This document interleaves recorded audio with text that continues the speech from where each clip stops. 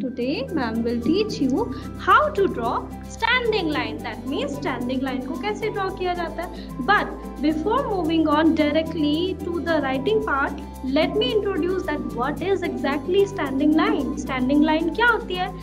Now, look at me. Am I visible? Look at me. What I am doing right now?